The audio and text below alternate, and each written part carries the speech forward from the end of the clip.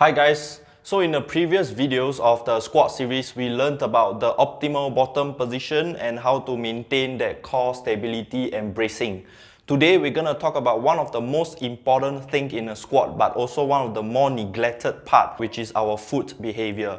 I'm Clinton from Technique Matters and today we want to learn about the foot arch and how it can help to create that stability and mid-foot balance at all time when you squat.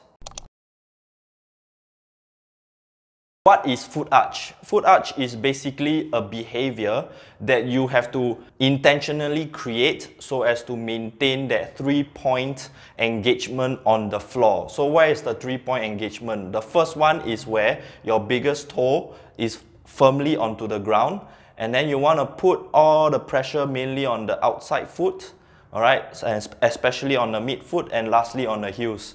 So what it does when you do this is actually you create an arch on your foot. So normally, most of us should have the foot arch naturally, but because over time, we neglected the skill of it and we walked lazily, we stood lazily, and hence, our foot arch development start to get poorer and poorer. So one of the reasons why we lost the, the effort of having a natural foot arch is when we wear shoes, we like to go for the most comfortable shoes, and because of that, we forget how to properly position our foot so as to create that natural foot arch. Why is foot arch important? Because it helps to passively engage the supporting muscles of your squat. So what does that mean? That means that if you have issue in your squat whereby your knee start, likes to cave in or your bar keeps drifting forward and backward when you squat, that is because you lost the stability on your foot and the ankles. So by doing so, by creating a foot arch and create that solid, stable position on the foot, you create that natural engagement on the glute medius and as well as some of the adductors. So these are the supporting muscles which you passively created so that you can maintain that stability in the squat. Sometimes when people tell you, oh, your knees keep caving in, try to engage your glute medius. It's not easy with a bar on your back especially when it's heavy, it's not easy for you to squat and focus on, oh, I want to engage my glute medius. So what should I do? Focus on the foot arch. Uh, this is basically what I tell all of my athletes as well. Focus on the foot arch. It is so important. So the next question you guys will definitely ask me is how do I learn and practice the foot arch?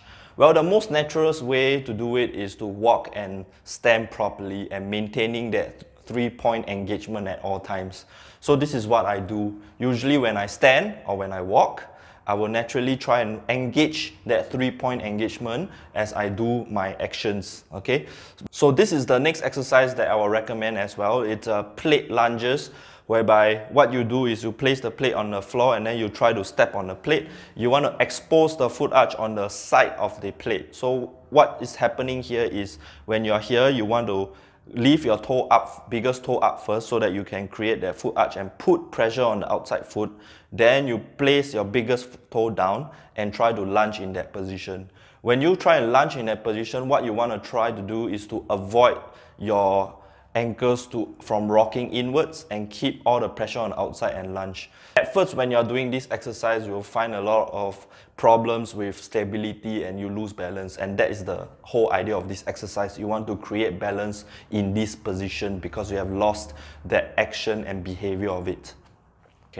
So the next exercise is actually the calf raises and you have to do it properly. So this exercise that I'm showing you right now is the proper way of performing a calf raise. Yes, I've said it, powerlifters, we need to incorporate calf raises into our training regime so that we can improve our squat movement pattern and this is how we do it. What we want to do is to make sure that all of your toes are facing forward.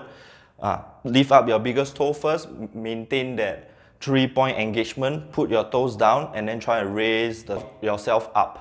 So when you raise yourself up, what you want to see is to uh, is that your ankles does not rock outwards or inwards. It maintain at the stable position, tracking forward and just go forward and upwards, forward and upwards. Okay. At first, go slow because you will you will see a lot of difficulty trying to stabilize yourself. Okay. So if you see yourself rocking outwards and if your ankles start to go outwards, that means you're not you do not have the stability to do so. So you must try to maintain it in a very neutral position.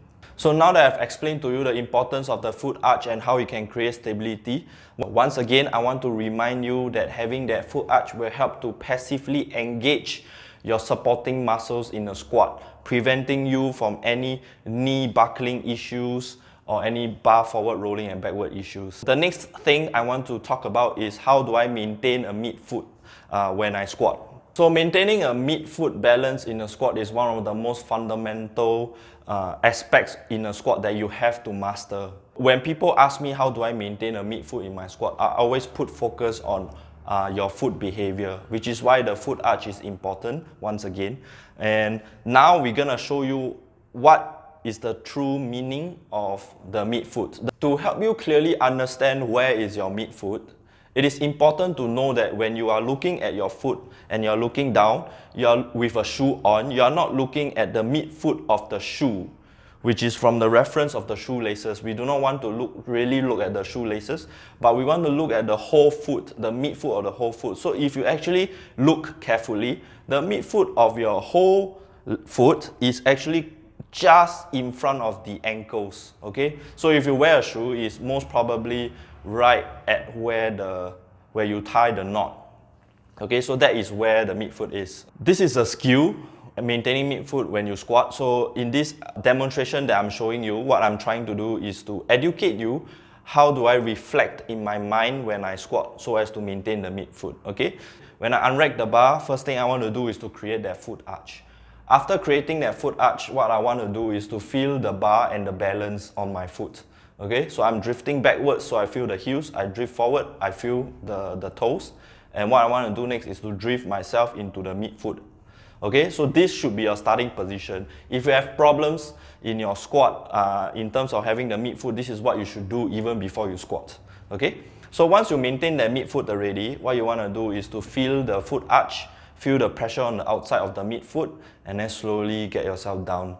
Uh, maneuvering your hips and your knees and your ankles so as to maintain that bar midfoot. It is very important for you to start slow. So do it like a tempo squat. I recommend a 5 second descent and a 3 second up. So by doing so, you have to improve your awareness of your foot in reference to creating that midfoot balance. Alright, so this is what I have to say for now. Foot arch is very, very important. It helps to create that stability in your squat. Okay, if you do not have stability right at the bottom, you do not have anything else. Okay, so once again, I'm Clinton and I hope you like this video. If you really enjoy this video and feel that this video is useful, please feel free to share it with those in need and also like the video. Okay, till then, I will see you again. Goodbye.